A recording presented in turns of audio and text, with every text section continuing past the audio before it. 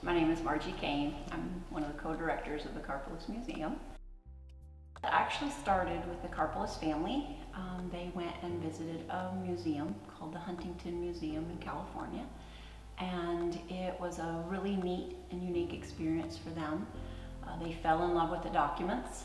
And at first, of course, the kids were a little bored because it's just documents. But then the kids started seeing different people, famous people that they'd studied about in school as well as one of the famous people had written a letter where they had made a mistake and they marked through the word and they kept writing.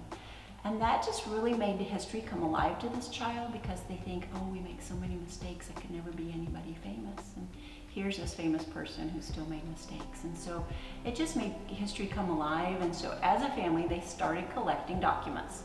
And um, and at first it was just a family hobby. They just really enjoyed, you know, finding things and getting researching about the different people.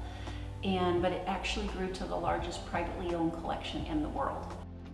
The museum is actually free to the public because the Karpeles family loved and enjoyed so much these documents as a family.